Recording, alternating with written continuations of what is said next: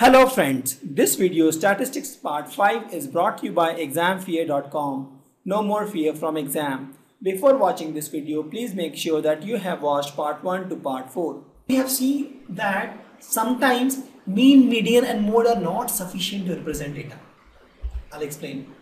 So this guy is uh, player 1 and this guy is player 2. Right?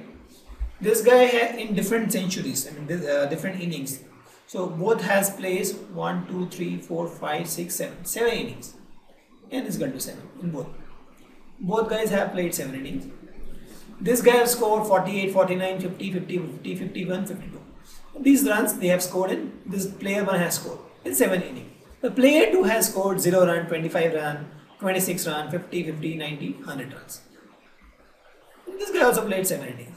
If you find want to find the mean, mean will come out to 50 because if you add these all this becomes 350 divided by 7 50 this also becomes 350 divided by 7 you can calculate actually. 25 plus 26 51 51 plus 51 not 1 151 this becomes uh, 250 350 350 divided by 7 is equal to 50 so mean is 50 also these are all in arranging order n is equal to 7 is the odd term. So the mean will be n plus 1 by 2 this becomes 4 so fourth term is 50 here and here also fourth term is 50. So mean and median both are same. Also if you see the occurrence, the maximum occurrence is 50 here and the maximum occurrence is 50. So here mean, median, mode, everything is 50 and that is for both the data. Now just if let's suppose I don't have this data because the management won't have this data, they'll have these values mean, median and mode. Now the management is asked which one is better player, player 1 or player 2. Going by this data management will say both are equal good but that is not the case. We can see that this guy is consistent. Consistently he is making runs.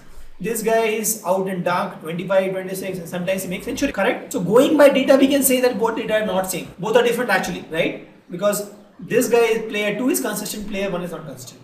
But if we present only mean median and mode to the uh, business guys or the management guys we we won't they won't be able to find the difference if we just look at these values, mean, median, mode, mean, median and mode, we won't be able to find who is better. So what should we do?